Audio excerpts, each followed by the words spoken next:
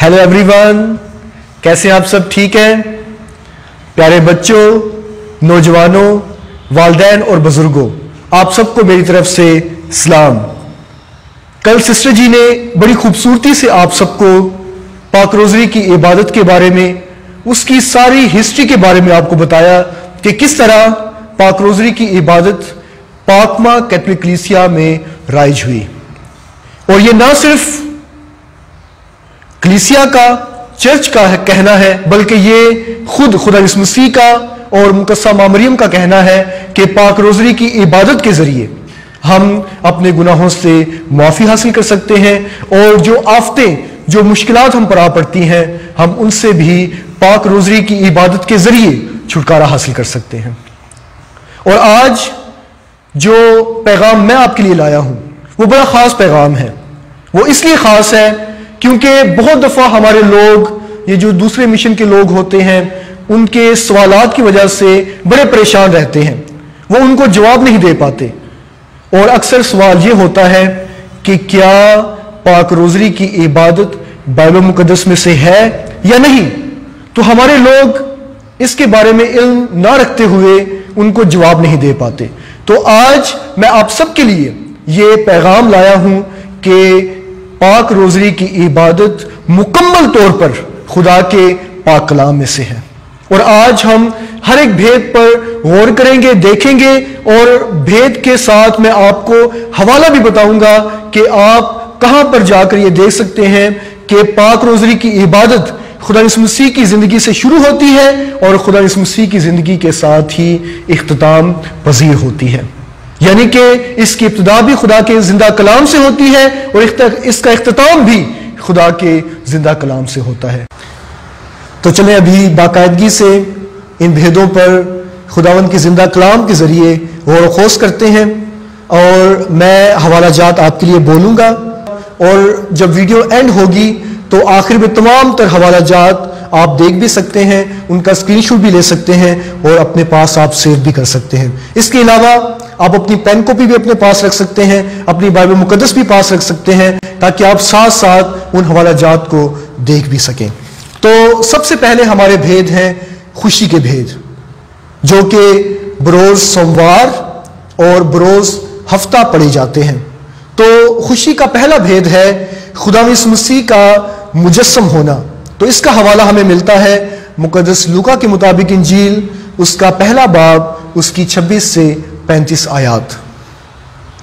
उसके बाद दूसरा भेद, मुकस्सा मरियम की मुलाकात अलिस्बात के साथ। तो इसका हवाला हमें मिलता है मुकदस लुका के मुताबिक इंजील, उसका पहला बाब, उसकी उनतालीस से अड़तालीस आयात। तो आप इसमें देख सकते हैं कि मुकस्सा माँ मरियम जब मुकस्सा अलिस्बात के पास जाती है तो वो जब दोनों आपस में मिलती हैं तो मुकस्सा अलिस्बात और मुकस्मा मरीम के दरमियान जो बातें होती हैं, उससे ये दूसरा भेद लिया गया है। उसके बाद खुशी का तीसरा भेद, खुदा मसीह की पैदाइश।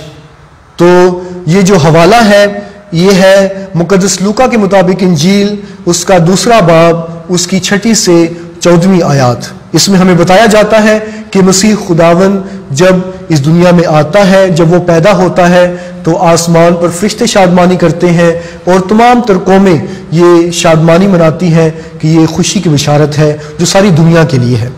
इसके बाद खुशी का चौथा भेद, खुदा इस मसीह का हैकल में नज़र किया जाना।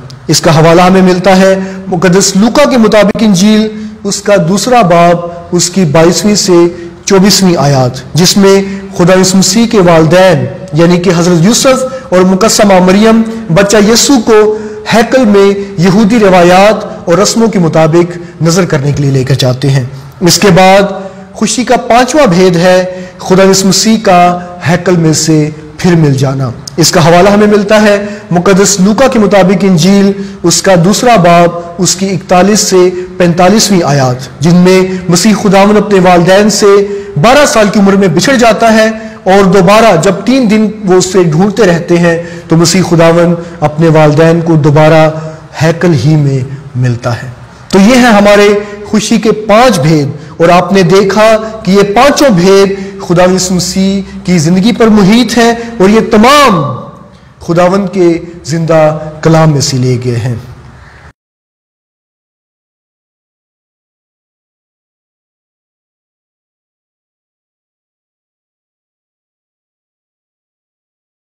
इसके बाद आते हैं नूर के पाँच भेद। ये पापाया आज़म योहन्ना पोलूस दोयम ने सन 2002 में मुतारफ कराए और इनका मकसद ये था कि एलानिया ज़िंदगी के अजीम कामों पर गौर किया जाए, जो मसीह खुदावन ने तीन साल अपने लोगों के दरमियान गुजारे और उनमें खुदा की बादशाही का ऐलान किया, जो खुदा मसीह के बपतिस्मा और उसके दुखों के दरमियान वाक़ हुए। तो आए, नूर के पाँच भेदों पर गौर करते हैं और ये भेद हम बरोज जुमेरात पढ़ते हैं। तो नूर का पहला भेद है खुदा मसीह का दरिया उर्दन में बपतिस्मा। इसका हवाला हमें मिलता है मुकदसमती उसका तीसरा बाब, उसकी तेरहवीं से सत्रहवीं आयात, जिनमें मसीह खुदावन योन्ना इस्तबागी के पास जाता है ताकि उससे दरिया उर्दन में बपतिस्मा ले सके। इसके बाद दूसरा, कानाई गलील में शादी। पानी का मैं में तब्दील किया जाना। इसका हवाला हमें मिलता है मुकदस योहन्ना के मुताबिक इंजील। उसका दूसरा बाब, उसकी पहली ग्यारह आयात, जिनमें मसीह खुदावन अपनी माँ मुकस्सा मामरियम के कहने पर अपना पहला मुआवजा करता है। वो पानी को मैं में तब्दील कर देता है। इसके बाद नूर का तीसरा भेद, खुदा की बादशाही का ऐलान। इसका हवाला हमें मिलता है मुकदस मरकस के मुताबिक इंजील, उसका पहला बाब, उसकी चौदह था पंद्रह आयात, जिनमें मसीह खुदावन अपनी ऐलान ज़िंदगी का आगाज़ करके खुदा की बादशाही का ऐलान सारी दुनिया में करता है। उसके बाद नूर का चौथा भेद है मसीह खुदावन की तब्दीली सूरत। जब मसीह खुदावन पहाड़ पर जाता है और उसके शागिर्दों के सामने उसकी सूरत तब्दील हो जाती है तो इसका हवाला हमें मिलता है मुकदस लूका के मुताबिक इंजील, उसका नवा बाब, उसकी अट्ठाईसवीं से छत्तीसवीं आयात। इसके बाद नूर का पांचवा भेद है। पाक युखरिस्त का तकर्र इसका हवाला हमें मिलता है मुकदस युहन्ना, उसका तेरवा बाप जब उसी खुदामंद अपने शागिर्दों के साथ आखिरी खाना खाता है। इसके अलावा मुकदसमती उसका छब्बीसवां बाब, इसमें भी हमें इस पाक साक्रमेंट के तकर्र का हवाला मिलता है। तो इस तरह हमने देखा कि नूर के पाँच भेद भी खुदावन के ज़िंदा कलाम में से हैं, ये पाक कलाम में से बाहर नहीं है।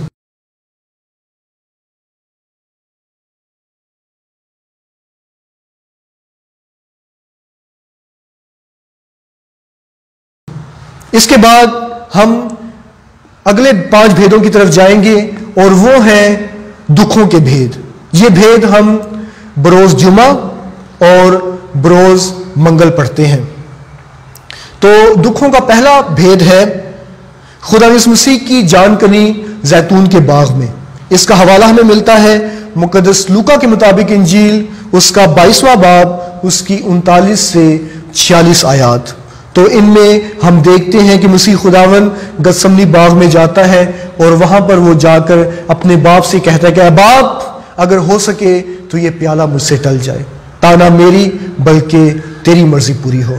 तो मसीह खुदावन उस रात जानकरी की हालत में होता है, वो करब की हालत में होता है और अपने बाप से वो मदद माँगता है, हिम्मत माँगता है। इसके बाद दुखों का दूसरा भेद। खुदा मसीह का कोड़ों से मारा जाना।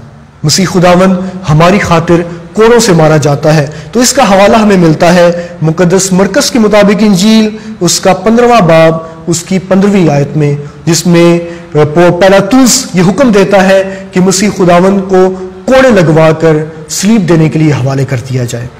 इसके बाद दुखों का तीसरा भेद है। खुदा इस मसीह के सर पर कांटों का ताज रखा जाना। इसका हवाला हमें मिलता है मुकदस मरकस उसका पंद्रवा बाब, उसकी सोलहवीं से सत्रहवीं आयात, जिनमें जो रोमी सिपाही होते हैं, वो मसीह खुदावन को इजा देते हैं, दुख देते हैं, उसे शाहाना पोशाक पहनाते हैं, उसके सर पर कांटों का ताज रखते हैं, और उसे तमांचे मारते हैं, उसके मुँह पर थूकते हैं, और उसे बार बार ताना देते हैं कि, ए बादशाह, सलाम। इसके बाद दुखों का चौथा भेद है, खुदा मसीह का सलीब उठा ले जाना। तो इसका हवाला हमें मिलता है मुकदस योहन्ना, उसका उन्नीसवा बाब, उसकी सत्रहवीं आयत में कि मसीह खुदावंद खुद अपनी सलीब उठाकर कोहे कलवर की तरफ़ चल देता है। वो हमारी खातिर इतने दुख बर्दाश्त करता है, हमारी खातिर वो दुखों की, करब की, गुनाहों की भारी सलीब उठाता है। उसके बाद दुखों का पांचवा भेद है खुदा मसीह का मसलूब होना। उसे हमारी खातिर, हमारे गुनाहों की खातिर मसलूब कर दिया जाता है और इसका हवाला हमें मिलता है। मुकदस लूका, उसका तेईस बाब उसकी पैंतीस से अड़तीस आयात। तो ये थे दुखों के पाँच भेद, जिनमें से हर एक भेद पर हमने गौर किया और देखा कि ये तमाम तर भेद खुदा के ज़िंदा कलाम में से हैं।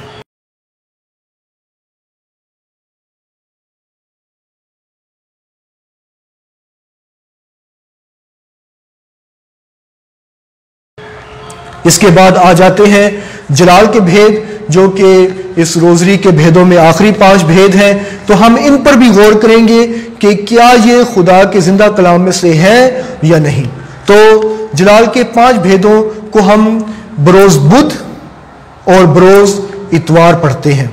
तो जो जलाल का पहला भेद है, वो है खुदा मसीह का मुर्दों में से ज़िंदा होना।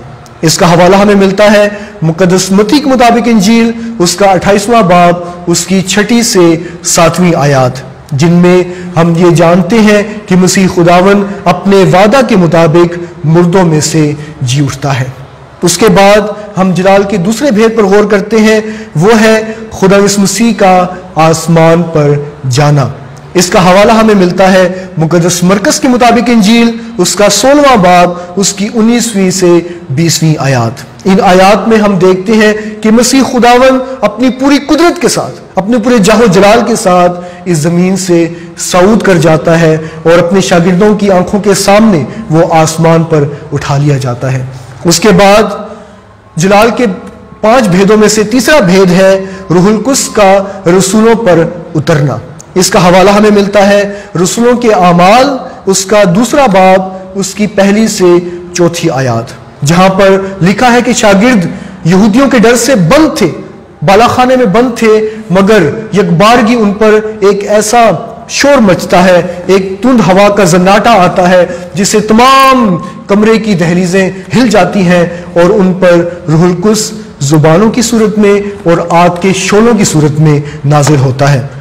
तो उसके बाद जलाल के पाँच भेदों का जो चौथा भेद है, वो है मुकस्सा मरियम का आसमान पर उठाया जाना। इसका हवाला हमें मिलता है पहला तसलोनिकियों उसका चौथा बाब, उसकी सत्रहवीं से अठारहवीं आयात। इसमें हमें हवाला मिलता है कि जो भी ईमानदार हैं, जो लोग मसीह खुदावन पर ईमान रखते हैं, वो ज़िंदा उठा लिए जाएँगे। वो पूरे जलाल के साथ जब मसीह खुदावन इस ज़मीन पर आएगा, वो बादशाह की सूरत में आएगा तो उसके तमाम तर बरगजीदा लोग आसमान पर उठा लिए जाएँगे। इसके बाद जलाल का पांचवा और आखिरी भेद है मुकस्सा मरियम की आसमान में ताजपोशी। इसका हवाला हमें मिलता है मुकाशवा की किताब, उसका बारवा बाब, उसकी पहली से दूसरी आयात में, जिसमें हमें पता चलता है कि एक औरत अपने पूरे जलाल के साथ, आसमान पर एक बड़े निशान के साथ ज़ाहिर होती है और सूरज को वो ओढ़े होती है और जिसके पाँव के नीचे चाँद और जिसके सर पर बारह सितारों का ताज होता है तो मुकसमा मरियम की बहिश्त में ये ताजपोशी है।